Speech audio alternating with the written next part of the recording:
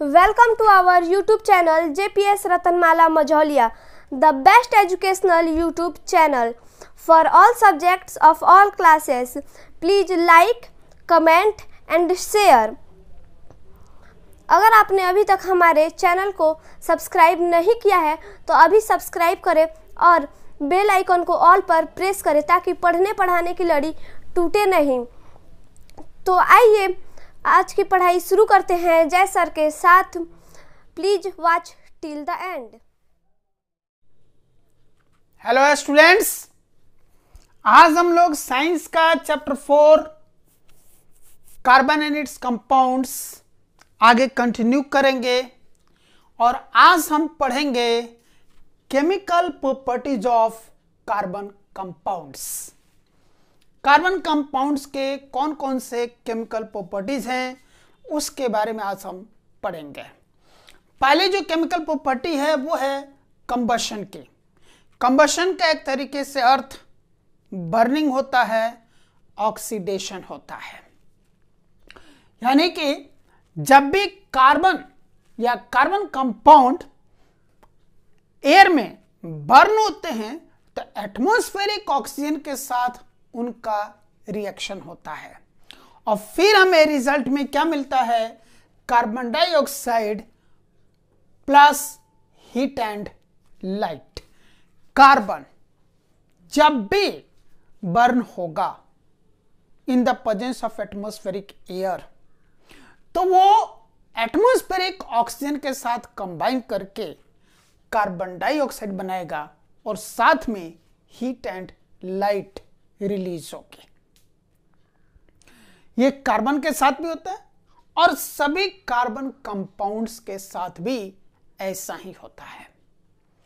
आप यहाँ पर एग्ज़ाम्पल दे सकते हैं, C plus O two gives rise CO two plus heat and light C for carbon O two for oxygen carbon जहाँ solid होता है ऑक्सीजन गैस होता है।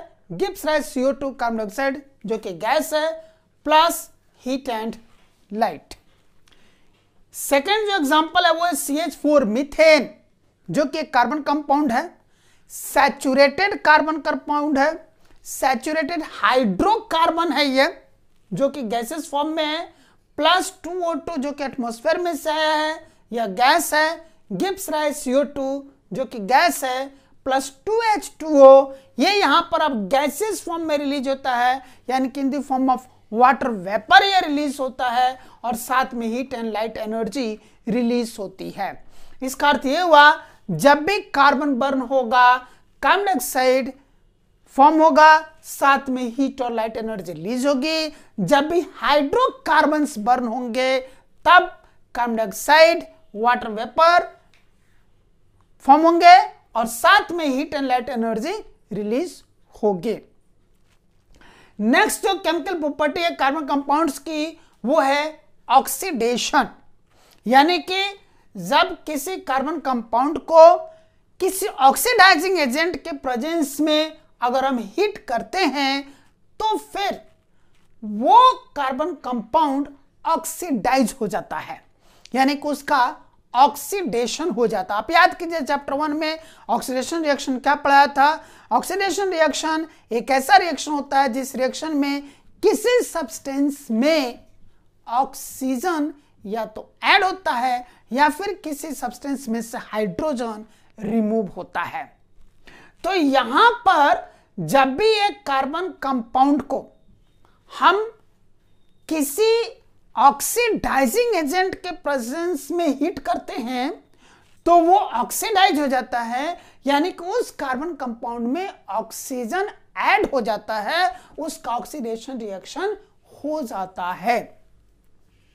अब है कि ऑक्सीडाइजिंग एजेंट क्या होता है?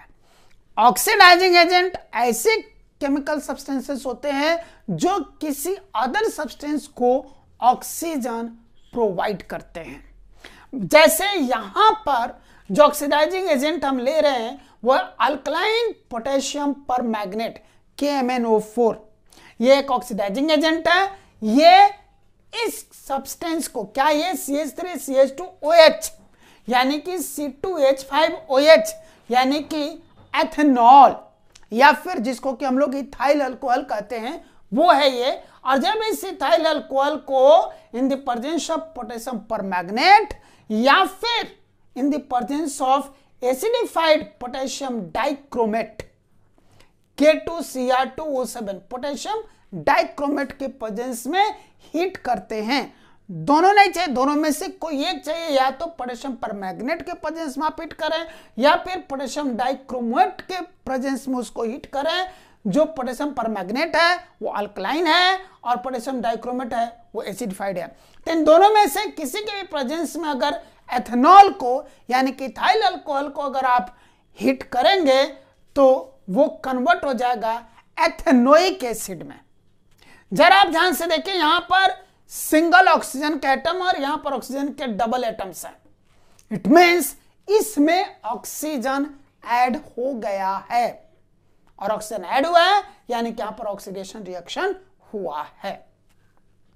नेक्स्ट अब आपको यह डाउट हो गया कि कंबशन भी एक तरीके से ऑक्सीडेशन रिएक्शन ही है और ऑक्सीडेशन भी ऑक्सीडेशन ही है। फिर दोनों में डिफरेंस क्या है?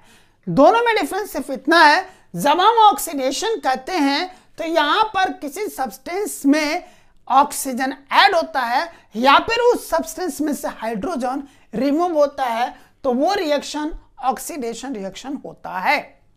हो सकता है कि जो ऑक्सीजन ऐड हुआ हो, वो एटमोस्फेरिक ऑक्सीजन ऐड हुआ हो, या फिर किसी ऑक्सीडाइजिंग एजेंट के द्वारा सप्लाई किया गया ऑक्सीजन उसमें ऐड हुआ हो। लेकिन अगर किसी सब्सटेंस में ऑक्सीजन ऐड हुआ है तो ऑक्सीडेशन रिएक्शन है, या उसमें हाइड्रोजन रिमूव हुआ है तो ऑक्सीडेशन रिएक्शन है। पर कंबशन वो ऑक्सीडेशन रिएक्शन है जिस ऑक्सीडेशन रिएक्शन के दौरान हीट और लाइट एनर्जी भी रिलीज़ होती है। कंबशन वो ऑक्सीडेशन रिएक्शन है जिस ऑक्सीडेशन रिएक्शन में हीट और लाइट एनर्जी भी रिलीज़ होती है। यानी कि अगर सिर्फ़ ऑक्सीजन ऐड हो रहा है या हाइड्रोजन रिमूव हो रहा है तो हम उसको सिंपली ऑक्सीडेशन बोलेंगे और ऑक्सीजन ऐड होने के साथ साथ हीट एंड लाइट एनर्जी भी रिलीज़ हो रही है तो उसे हम कंबशन कहेंगे। हेलो फ्रेंड्स हमारा एक J institute the easiest learning app भी है जिसमें आपकी ढेर सारी काम की चीज़ें इसलिए आप अभी इस ऐप को डाउनलोड और इंस्टॉल करें। लिंक डिस्क्रिप्शन बॉक्स में है। बेसिकली अभी हम क्या पढ़ रहे हैं? कार्बन कंपाउंड्स और हमारे सिलेबस में कार्बन कंपाउंड्स में सबसे ज़्यादा फोकस हाइड्रोकार्बन्स पर है। और हाइड्रोकार्बन्स के बारे में मैंने आपको पढ़ाया था कि हाइड्रोकार्बन्स टू टाइप्स के हैं saturated hydrocarbons and unsaturated hydrocarbons saturated hydrocarbons वो हाइड्रोकार्बन्स हैं, जिन हाइड्रोकार्बन्स में कार्बन कार्बन के बीच सिर्फ़ और सिर्फ़ सिंगल कोवालेंट बॉन्ड हैं। और अनसेचुरेटेड हाइड्रोकार्बन्स वो हाइड्रोकार्बन्स हैं जिन हाइड्रोकार्बन्स में कार्बन कार्बन के बीच at least one double covalent bond है या फिर at least one triple covalent bond है। एक बार फिर से अनसेचुरेटेड हाइड्रोकार्बन वो हाइड्रोकार्बन है जिस हाइड्रोकार्बन में कार्बन कार्बन के बीच में at least one double covalent bond है, या फिर at least one triple covalent bond है। वो अनसेचुरेटेड हाइड्रोकार्बन है। इस हिसाब से अल्केन्स सैचुरेटेड हाइड्रोकार्बन्स हो गए और अल्किन्स एंड अल्काइंस ये अनसेचुरेटेड हाइड्रोकार्बन्स हो गए। तो जब सैचुरेटेड हाइड्रोकार्बन्स बर्न होते हैं सैचुरेटेड हाइड्रोकार्बन्स का जब कंबशन होता है तो हमें बिल्कुल क्लीन फ्लेम मिलता है। क्लीन फ्लेम का मतलब है ब्लू फ्लेम अगर कहीं भी कोई चीज़ बर्न हो रही है, किसी भी सब्सटेंस का कंबशन हो रहा है, और वहाँ पर आपको ब्लू फ्लेम दिखाई दे रहा है, जैसे कि आपके घर में एलपीजी से खाना बनता है, और आपके गैस चूल्हे पर ब्लू फ्लेम नज़र आ रहा है तो इसका अर्थ यह है कि आपके सिलेंडर में, आपके किचन के सिलेंडर में जो रसोई गैस भरी हुई है, जो कुकिंग गैस भरी हुई है, वो सैचुरेटेड हाइड्रोकार्बन है। इसीलिए उसके बर्निंग पे आपको ब्लू फ्लेम मिल रहा है। लेकिन अगर आप जहाँ कहीं भी किसी सब्सटेंस को बर्न कर रहे हैं बर्न करते हुए देख रहे हैं वहाँ पर ब्लू फ्लेम की जगह येलो फ्लेम आ रही है। इसका अर्थ है कि वो बर्निंग सब्सटेंस जो है, वो अनसैचुरेटेड हाइड्रोकार्बन है। सैचुरेटेड हाइड्रोकार्बन क्लीन फ्लेम यानी कि ब्लू फ्लेम देता है कंबशन में, और अनसेचुरेटेड हाइड्रोकार्बन बर्निंग या कंबशन के दौरान येलो फ्लेम देता है। और एक बात और नोट करने वाली है कि जो सैचुरेटेड हाइड्रोकार्बन हैं, उनका कंप्लीट कंबशन होता है और जो अनसैचुरेटेड हाइड्रोकार्बन हैं, उनका अनकंप्लीट इनकंप्लीट कंबशन होता है। एक बार फिर से रिपीट करूँगा मैं सैचुरेटेड हाइड्रोकार्बन का कंप्लीट कंबशन होता है। और जहाँ कहीं भी कंप्लीट कंबशन होता है, यानी कि वो सब्सटेंस पूरी तरह से बर्न हो जाता है, वहाँ पर हमको क्लीन फ्लेम यानी कि ब्लू फ्लेम मिलता है। और अनसेचुरेटेड हाइड्रोकार्बन्स में इनकम्प्लीट कंबशन होता है और जहाँ कहीं भी इनकम्प्लीट कंबशन होता है, वहाँ पर हमको येलो फ्लेम मिलता है ब्लू फ्लेम नहीं मिलता। तो ज़ाहिर सी बात है, जब इनकम्प्लीट कंबशन हुआ है तो सम अनबर्न पार्टिकल्स तो वहाँ से ज़रूर एराइज होंगे और वही ब्लैक स्मोक के फॉर्म में निकलता है। यानी कि जब भी आप इनकम्प्लीट कंबशन देखते हैं या फिर अनसेचुरेटेड हाइड्रोकार्बन की बर्निंग देखते हैं तो वहाँ पर येलो फ्लेम के साथ साथ ब्लैक स्मोक निकलता है।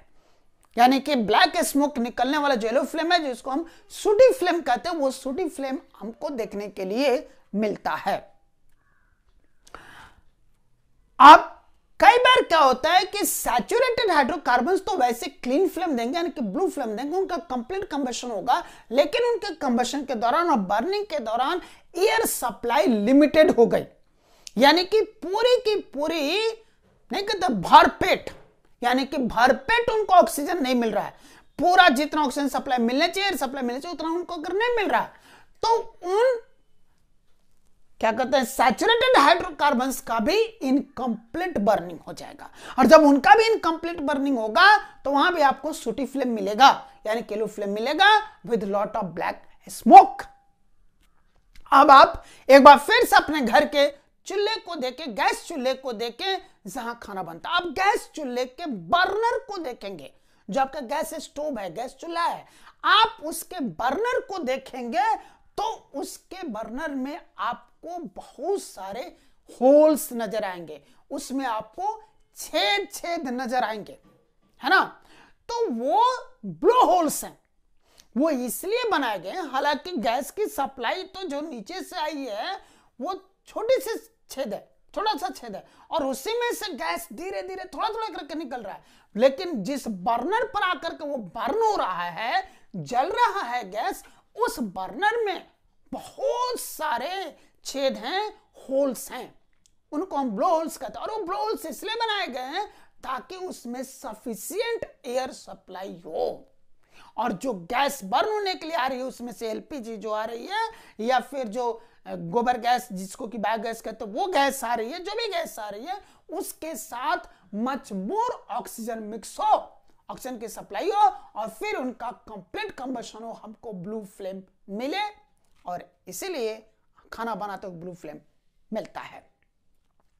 लेकिन कई बार क्या होता है कि खाना बनाते वक्त बर्तन में नीचे काले काले दाग आने लगते हैं, बर्तन नीचे से काले होने लगता है। जब गौर से देखें फ्लेम तो फिर से सूटी फ्लेम उसमें आ रहे होते हैं, यानी कि लोइस फ्लेम आ रहा है और ब्लैक स्मोक निकल रहा है। इसका अर्थ है कि किसी भी कारण से कोई चीज़ हो सकता उबल के गिर गई हो, जैसे कि दूध या दाल या भात या अन्य कोई चीज़ उसके ऊपर गिर गई हो, या आप उसके ऊपर कोई चीज़ रख के पका रहे हो और उसके जले हुए पार्ट्स बर्नर में फंस गए हो तो जो ब्लो होल्स थे, वो ब्लो होल्स जाम हो गए।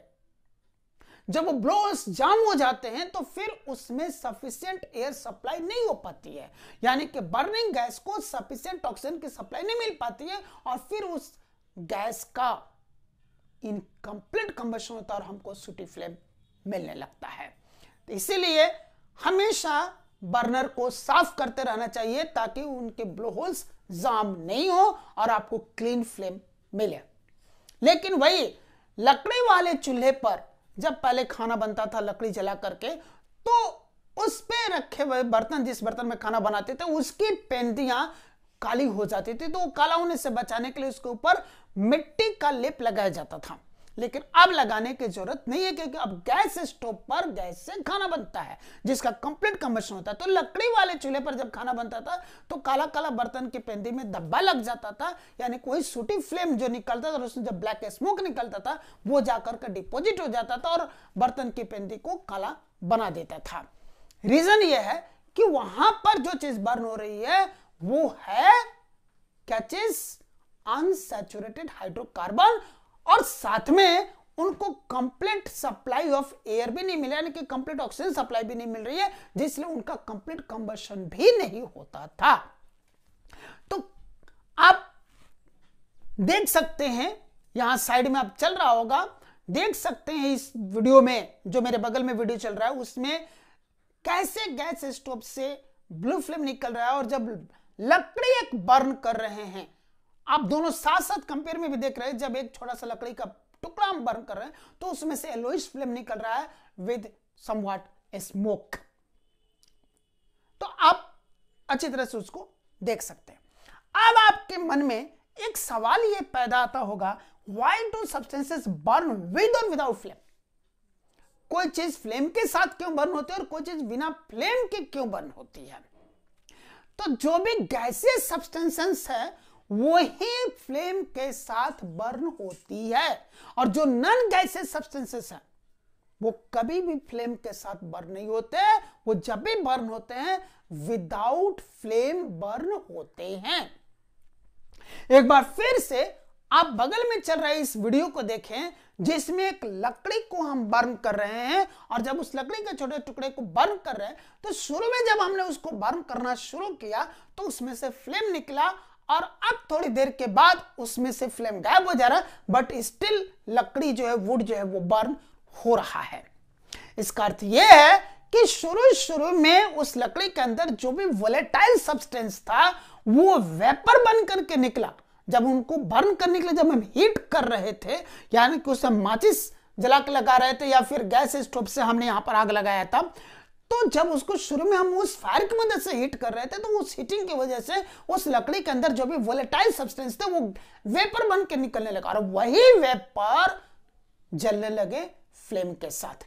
यानी कि जहाँ कहीं भी आप इस तरह के सब्सटेंसेस को बर्न होते हुए देखते हैं तो शुरू शुरू में फ्लेम आती है, इसका अर्थ है कुछ सब्सटेंस के अंदर जो भी वोलेटाइल सब्सटेंस है, वो वेपोराइज होकर के निकल और वही वेपर फ्लेम के साथ जल रहा है। लेकिन जैसे वो सारे के सारे वोटाइल सब्सटेंसेस वेपर बन करके निकल जाते हैं वेपोराइज हो जाता है और वो जल जाते हैं फ्लेम के साथ, अब उसके बाद जो भी नॉन वोलेटाइल सब्सटेंस अब बच गया है, वो बर्न होता है विदाउट फ्लेम यानी कि अब इस बगल वाले वीडियो में देख सकते हैं उस लकड़ी को जलते हुए विदाउट फ्लेम तो अब आपको बात समझ में आ गई होगी कि कब कोई चीज़ फ्लेम के साथ बर्न होती है, अब कब कोई बिना फ्लेम के साथ बर्न होती है। अब आप सोच रहे होंगे कि भाई हम तो केरोसिन ऑयल का स्टोव भी जलाते हैं तो फ्लेम के साथ जलता है। बिल्कुल जलता है। आप जब केरोसिन ऑयल का स्टोव बर्न करते हैं तो जब बर्नर में वो क्रेसिन ऑयल पहुँचता है तो वहाँ पर जाकर को वेपर फॉर्म ले लेता है और वही वेपर फ्लेम के साथ जलता है। अदरवाइज़ लिक्विड फॉर्म में पेट्रोलियम को या फिर केरोसिन ऑयल को किसी को भी बर्न करे डीजल को बर्न करे पेट्रोल को बर्न करे तो फ्लेम के साथ बर्न नहीं होगा। सॉलिड सब्सटेंस फ्लेम के साथ बर्न नहीं होगा। उस सॉलिड्स में से वोलेटाइल सब्सटेंस जब वेपर बन के निकले तो वो फ्लेम के साथ बर्न हो सकते हैं।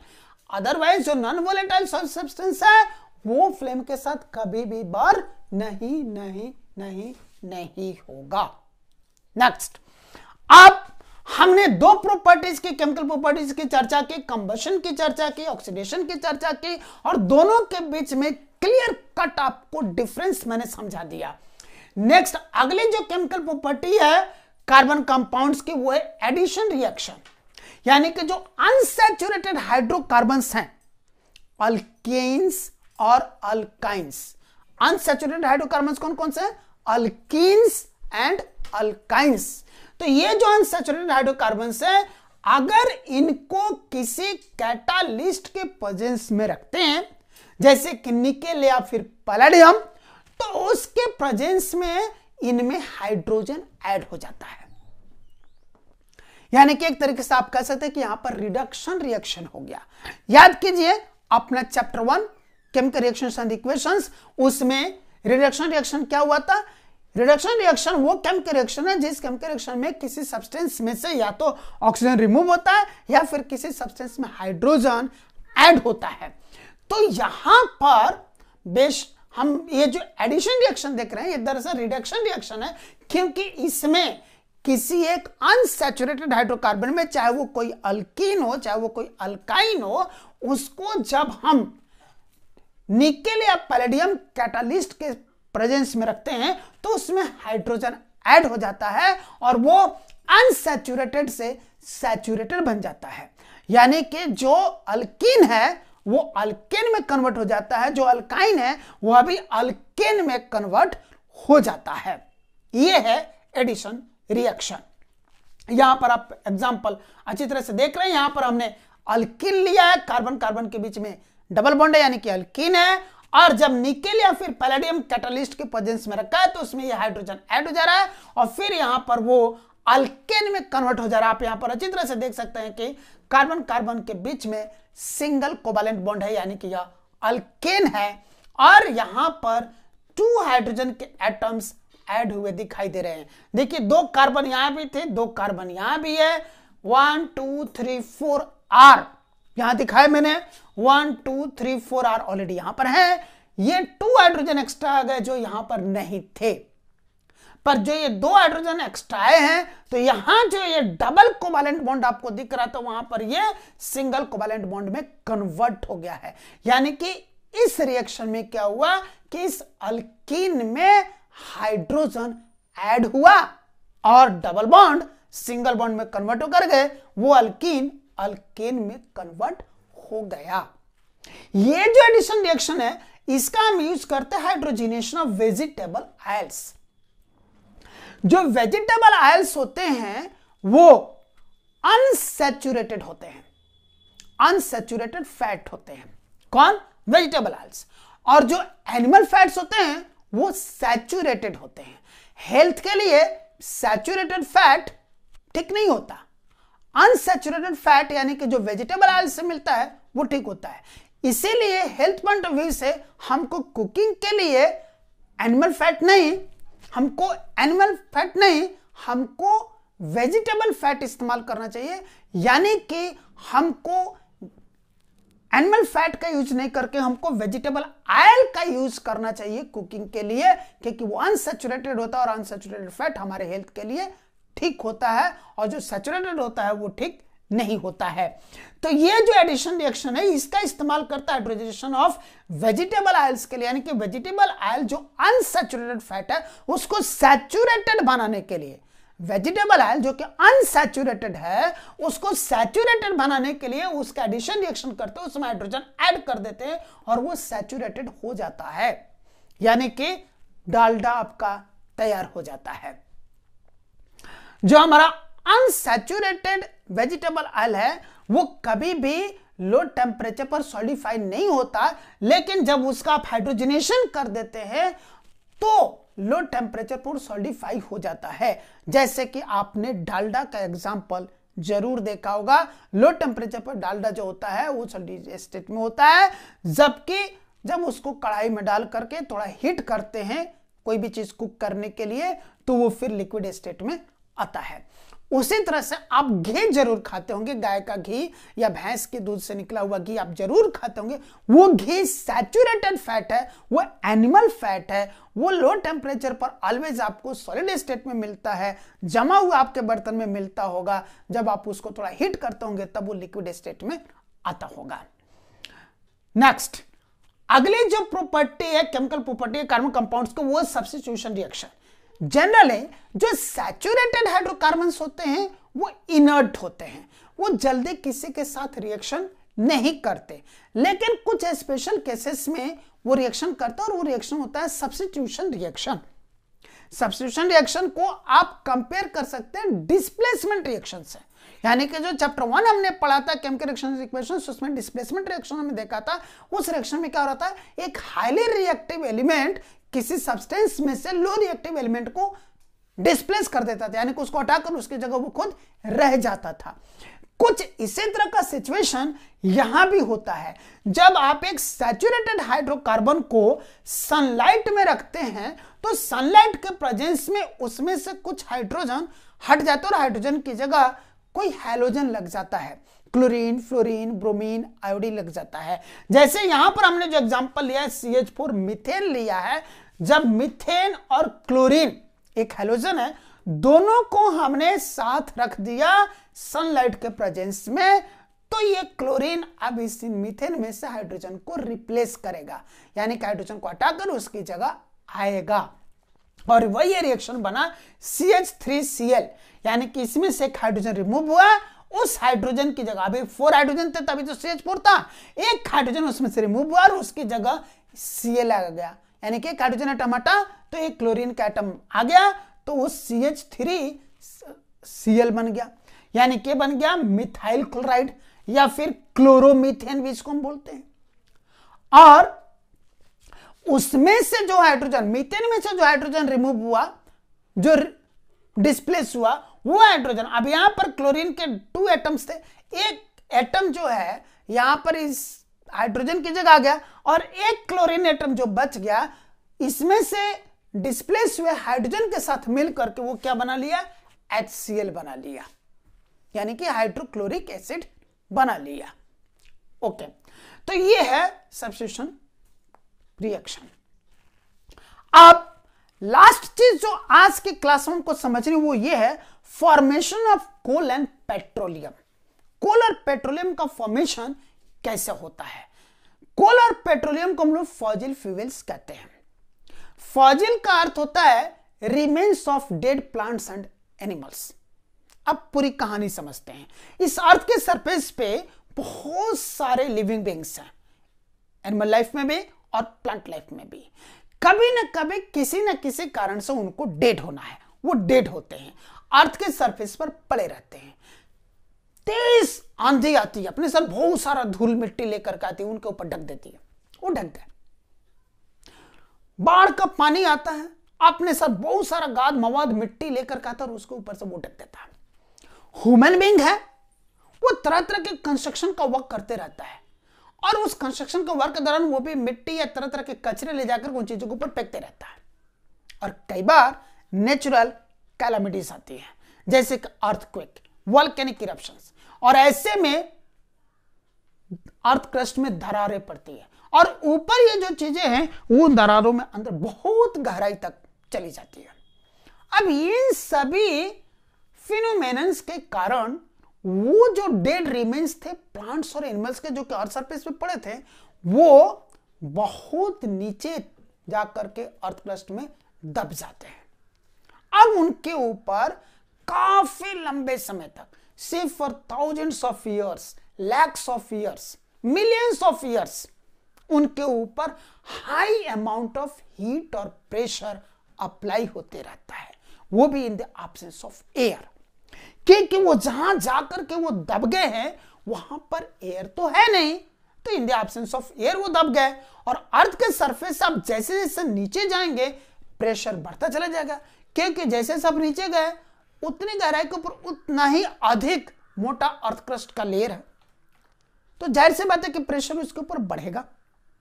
और अगला कंसेप्ट हम अर्थ के सरफेस से जैसे जैसे नीचे जाते डाउनवर्ड जाते हैं, वैसे वैसे टेम्परेचर इंक्रीज होता चला जाता है। तो इस हिसाब से वो उतनी गहराई में इतने लंबे समय तक thousands of years lakhs of years millions of years तक in the absence of air उन फॉजिल्स के ऊपर, वो जो डेड रिमेन्स है प्लांट्स और एनिमल्स के ऊपर, उनके ऊपर हाई अमाउंट ऑफ़ फीट और high amount of pressure apply होता रहता है। और फिर उनका होते रहता है continuously non stop anaerobic decomposition यानी कि decomposition in the absence of air होते रहता है। और ऐसे सिचुएशन में, उनमें से तीन तरह के सब्सटेंसेस फॉर्म होते हैं। अगर अर्थ के सरफेस पर भी फॉर्म होते, तब भी तीन ही फॉर्म होते, लेकिन वहाँ भी तीन ही फॉर्म हो रहे हैं। अर्थ के सरफेस आप तीन नहीं कलेक्ट हो सकते, लेकिन वहाँ पर गहराई में वो कलेक्ट हो जा रहे हैं। एक जो सब्सटेंस उसमें से रिलीज़ हो रहा है, वो गैसेस फॉर्म में। और वही नेचुरल गैस क्योंकि गैस के पास फ्लूडिटी ज़्यादा होती है, इसलिए जहाँ पर उसका फॉर्मेशन हुआ है, वहाँ से रिस रिस के धीरे धीरे धीरे धीरे इसके ऊपर करके लो लाइंग एरियाज़ की तरफ़ वो चले जाता है, पर कहीं जाकर के वो एक रॉकी एरिया जाता चट्टानी एरिया जाता जिनमें से वो अब रिस करके इधर उधर नहीं जा सकता, वहीं पर जाकर के वो कलेक्ट हो जाता है। वो है नेचुरल गैस और उस एनारोबिक डिकम्पोजिशन के दौरान कुछ लिक्विड सब्सटेंसेस भी रिलीज़ होती है और लिक्विड में भी फ्लूडिटी है।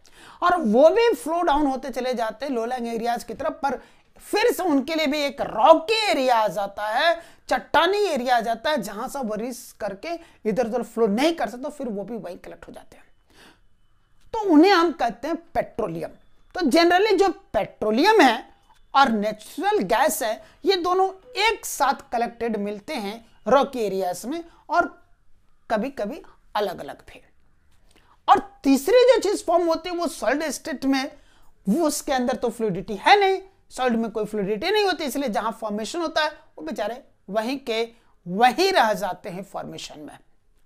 और उसे ही हम कहते हैं कोल तो चूँकि कोल पेट्रोल में नेचुरल गैस का फॉर्मेशन वो फॉजिल्स से, यानी कि dead remains of plants and animals से, इसीलिए और ये सब्सटेंस चीज़ होते हैं एज अ फ्यूएल इसीलिए इनको हम फॉजिल फ्यूएल्स भी कहते हैं। तो अब आपको खूब अच्छी तरह से समझ में आ गया होगा कि फॉर्मेशन ऑफ़ कोल और पेट्रोलियम कैसे होता है। तो आज की क्लास हम यहाँ पर टर्मिनेट करते हैं और जब हम नेक्स्ट क्लास में मिलेंगे, तब हम वहाँ पर पढ़ेंगे properties of ethanol and ethanoic acid